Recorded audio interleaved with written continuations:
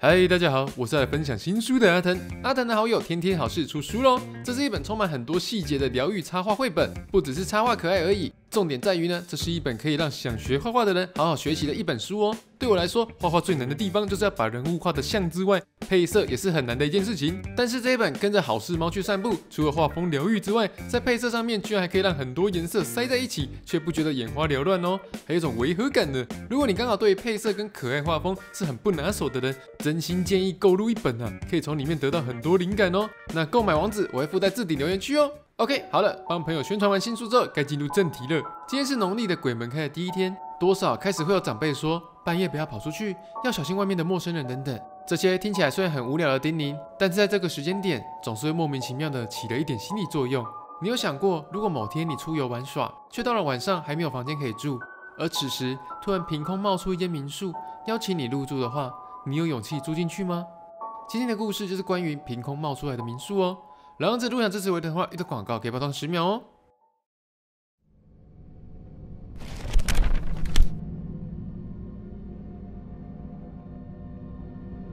故事开始喽。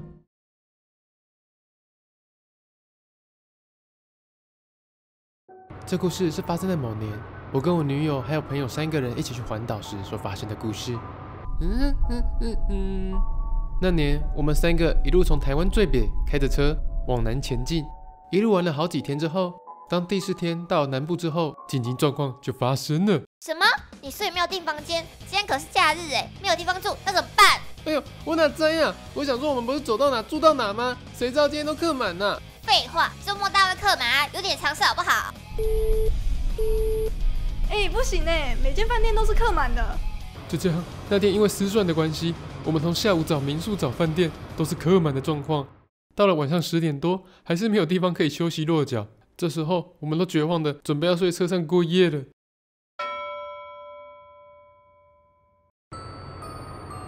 而恰巧经过路旁，居然看到一个手写的招牌，哎，民宿哎！你们看，这招牌上面写前面有民宿哎，我们去看看吧。这时候，我抱着死马当活马医的心态，一路往山上开了过去。而上山的路也就只有那一条而已，一下子就把车开进了一间算是古宅的庭院门口。而当时房子的灯都没有开，唯一的灯源就是我们自己的汽车大灯，看起来超不像有人住在这里的。而当我还在犹豫到底要不要下车去查看的时候，哎，少年呢？要大不？别惊了，你们是要住宿？要的话，我可以算便宜一点哦。这喜欢刀了，我自己改民宿了啦。你们是看指路牌进来的吼？要不要住？一个晚上一千块就好了。这时候突然出现一个阿伯，开始推销起来，而我们三个顿时也面有难色的。一来是真的找不到地方住了，但二来这间房子看起来好像也不太能住的样子。我们三个人开了一下小组会议后，想想。比起睡车上，那还不如住看看好了。而没想到的是，一进屋子后，这间老宅比想象中的还干净，因为是老房子了，每个家具都超有年代感的，像是古董桌、古董椅、古董床，甚至还有古董尿壶。当下真的觉得实在美败，而且又怕明天没有地方住。我们跟阿北确定要住两晚后，就放好行李去洗澡了。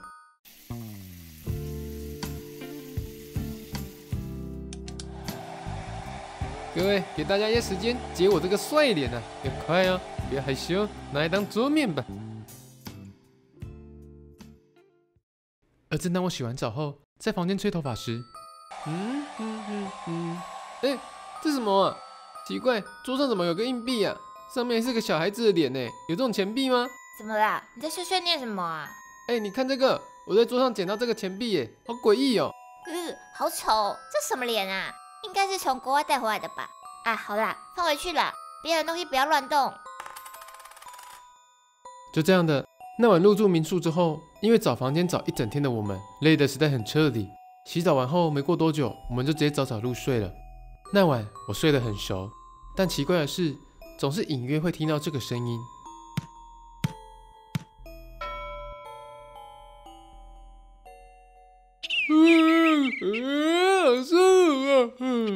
隔天早上起床，我们没有见到民宿的阿贝，但是客厅上已经摆好了早餐，我们三个人也就不客气了直接吃了起来。嗯嗯嗯嗯，反正嗯嗯嗯嗯，好吃好吃。只不过哎，洛洛，你的脸是怎么了？昨天晚睡哦，印堂发黑哎。没没有啊，我有睡啊，只是不知道为什么就好累哦。啊，你们今天自己去玩好了，我想再补眠一下。啊，都来玩了，你还要睡觉？要确定呢？你们去就好了。哦，好了，那我们就两个人自己去喽，这样我可以少画一个人，也蛮方便的。就这样的，朋友一点看起来没睡饱，而且也坚持不跟我们出门。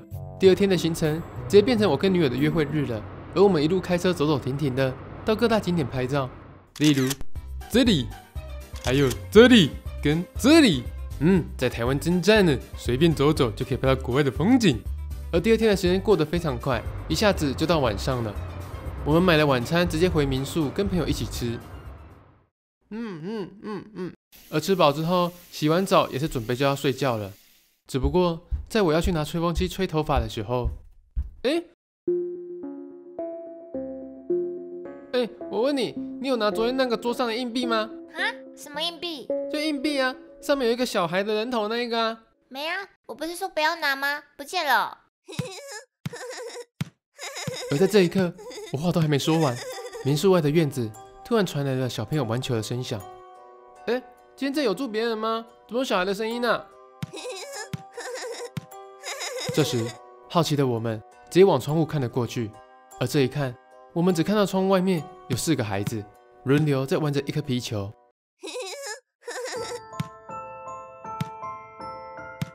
但不知为何，四个小孩里面有三个都是穿着古装的，看起来超复古的样子，反而是穿现代服的小孩很格格不入。哎，你你有看到吗？嗯，那个真的是小孩吗？结果在我们讨论到一半的时候，其中那个穿现代装的小孩像是发现我们一样，哎，嗯，你你们救我救我，哎，救我救我，快点！救我出去！救我出去！救我出去！不会吧？这时候，那个小孩不断的朝我们跑了过来。但可怕的是，才短短的一段路，他居然从小孩子越跑年纪越大。嗯，拜拜托，带我出去！带我出去！拜托，带我出去！带我出去！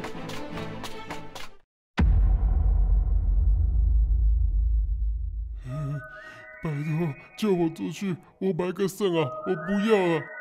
怎么了，老婆？你是谁啊？你是刚刚那个小孩吗？我拜托你救我出去！我不要玩了！我不要啊！等等，救你出去！你现在在外面啊，而且没被关起来啊！这时候，那个老伯一直讲的我听不懂的话，而在下一秒，一个声音就从后面传来了。你要去哪里呢？这一刻，我们三个同时都往那个声音方向看了过去。有声音可以走吗 这句话是其中一个穿着古装的小孩一边拍着球一边讲的，但不知为何，我看着他，我总觉得他好眼熟，好像在哪里看过他一样。干嘛呀？继续玩呢？继续玩呢？呃，硬硬币，他他就是硬币上的小孩子。拜托，救我出去！救我出去！瞬间，我跟女友根本来不及反应，像是变魔术一样。那个老伯像是被人家拖走了，整个人凭空消失在黑暗里面了。而下一秒，院子里面那些小孩也都不见了，就像什么事也没发生过一样的平静。你你刚看到了吗？嗯，我看到了。哎，我们没有做梦吧？再说是做梦，观众会翻脸呢。没有，我确定。呃呃，快逃啊！当下我们两个用最快的速度开始打包行李，这地方不能住了，要赶快离开。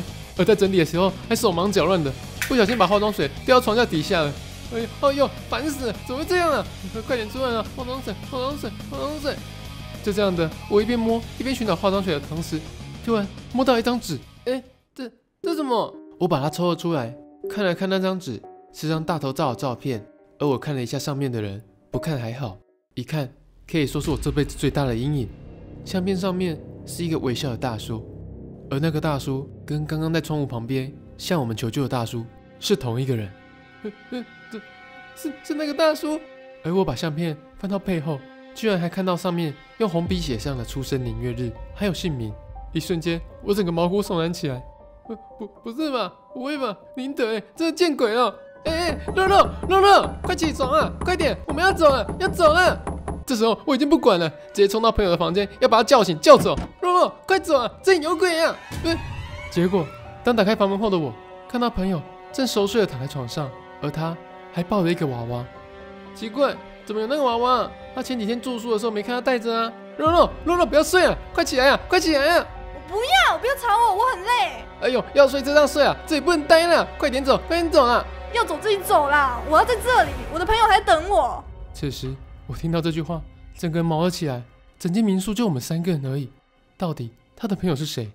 都这个时候了，我也不管那么多了，直接用扛的，也要把他整个扛到车上去。啊，Vicky 啦！而接下来这一阵仓皇整理之后，我们终于开车离开了民宿。而当汽车离开那个中庭的时候，说老实话，我原本以为这样就没事了，但不知道为什么，明明从民宿到出口是很短的山路，但这时候的我不管怎么开，都好像开不出去一样，一直都到不了出口。哦哟，怎么会这样呢？而同一时间，我的朋友又持续在后座发出声音来。你说什么啊？好啊，那要玩什么啊？哦哟，洛洛，你很吵哎，现在很紧张哎，你在哭哦。而当下我一回头才发现，洛洛居然还拿着那个娃娃，一直不断自言自语着。哦哟，你你那东西干嘛带在车上啊？快丢掉，快丢掉！不知为何，我的直觉告诉我，那个娃娃不能留，我直接一手抓来，把它丢出车外。而神奇的是，才刚丢没多久，出口的路居然就出现了。哼，太好了，可以下山了，可以下山了。而我才刚开始没多久，结果快到出口的时候，发现了有四个人影排排站好在那边，像是等着我们一样。虽然只有那一瞬间，但就那一瞬间，我可以肯定，那四个人影是我们在民宿看到的四个小孩子。